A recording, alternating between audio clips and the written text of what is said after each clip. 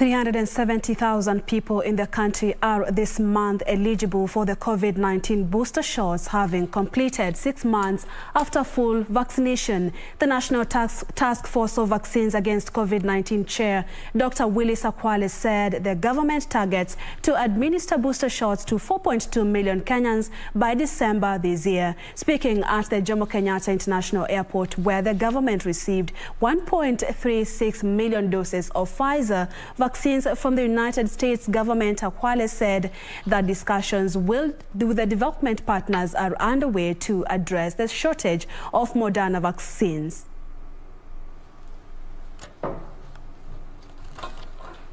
Have you guys taken your booster? Vaccine doses arriving today are the same safe and effective Pfizer vaccine that has been used to vaccinate millions of people in the United States and around the world. We have set a target of ensuring by end of June we are going to vaccinate 19 million adults fully vaccinated.